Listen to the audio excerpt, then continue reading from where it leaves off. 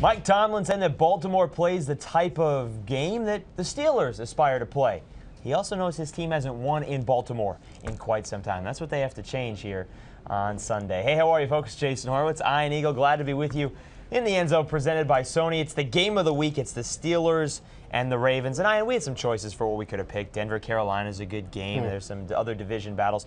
But this one is for the AFC North title if Pittsburgh wins. If not, they still control their own destiny for that division. But as you pointed out before we started, this means a whole lot more to Pittsburgh because they still have a good shot for home field advantage throughout the playoffs. They do. Uh, there is incentive here, and as we've talked about throughout the season, there is this void in the AFC, and who's going to fill it? Pittsburgh believes they can be the best team in the AFC and represent the conference in the Super Bowl. The one game lead over the surprising Baltimore Ravens.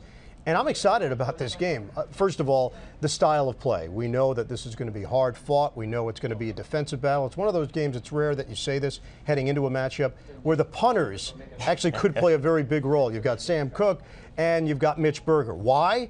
Field position. That is going to be a huge storyline in this game. Who has better field position? Who can make plays on special teams? Because defensively, you're talking about two of the best teams in all of football right now. And you're not this. Is you know that's the other part to this is when you look at the two defenses, they are mere images of Yep. each other. They hit you hard. They've got two phenomenal ball hawking safeties in Troy Polamalu and Ed Reed.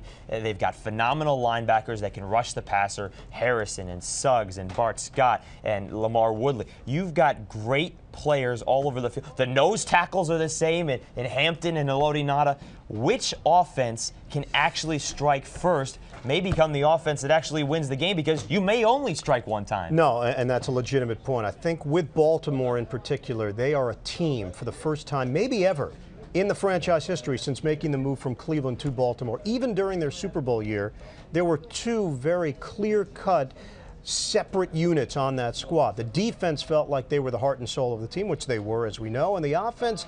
There were insecurities there week in and week out. They basically told Trent Dilfer, hey, just don't mess it up. That's all we're asking you to do. Now, and I've done enough Baltimore games this season to know the defense actually respects the offense. They respect Joe Flacco. I don't think this stage is too big for him. He's been unflappable, he's been poised, he's been a tremendous rookie quarterback for this team. Nothing seems to faze this guy.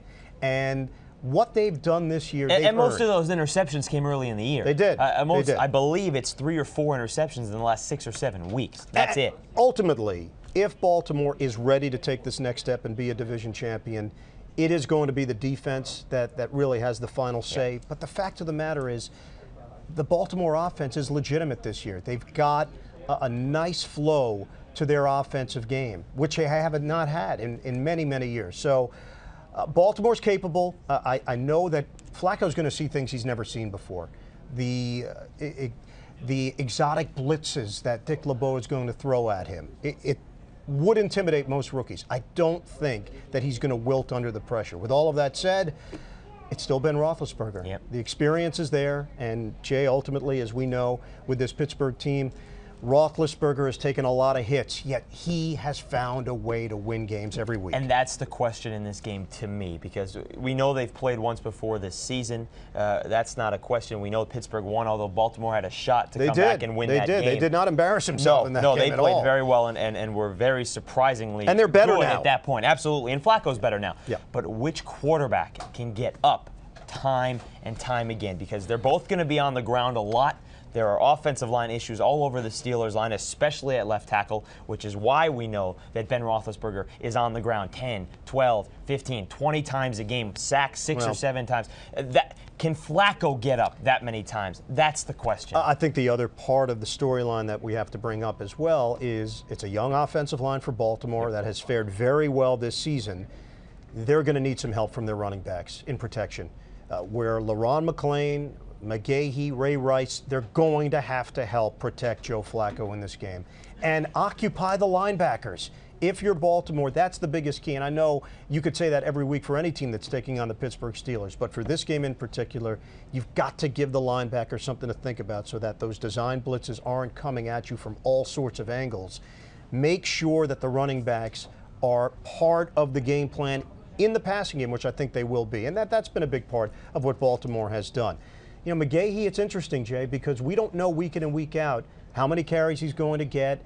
Sometimes you think he's in the doghouse. After the fact, John Harbaugh, who has done an outstanding job this season, will tell you, hey, he just wasn't part of the game plan against that specific opponent. He'll get his shot. McClain has really been their go to guy this year on the ground. They have to hang on to the football. No fumbles this week there. And then the other question for the Steelers, because you're bringing up the Ravens running backs, Willie Parker, Yep. Mewelde Moore. Which one? Mewelde Moore looked much better in this last game against Dallas, and it not necessarily that the offense looked good at all in that game until the fourth quarter, but Willie Parker didn't get anything going. And Mike Tomlin was rotating running backs. It didn't seem to work. He went and he settled on Mewelde Moore in the fourth quarter, and then the offense started moving. So Yep. we'll, we'll see. I wouldn't count on any big fantasy points from either of these teams this week.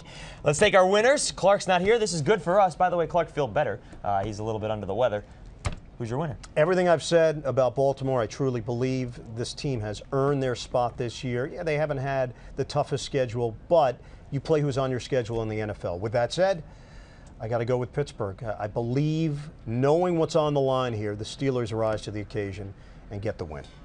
I'm going to go with Pittsburgh also, and the and, and the reason is their players at the positions that they have the same players at Baltimore, I think are just a little bit better, especially on offense, and so that's why I'm going to take Pittsburgh. I'll trust Roethlisberger more than Flacco.